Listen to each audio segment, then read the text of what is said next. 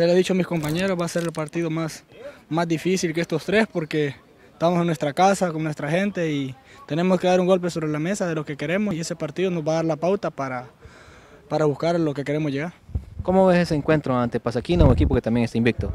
Partido duro, como todos, no hay partido fácil. Como te lo dije, quizás va a ser el partido más difícil que, que los últimos tres que hemos jugado, pero esperamos primero Dios los tres puntos se queden aquí en Santa Rosa. Más porque el equipo es de acá cerca, eh, el equipo tampoco va a venir a regalar nada. Está igual que nosotros, estamos empatados en punto, viene de, no perder, dos empates, un gane, así que viene motivado, así que tenemos que esperarlo de, la mejor manera, enfocarnos en el trabajo que venimos haciendo, que eh, si lo hacemos vamos a dejar un buen resultado aquí en casa.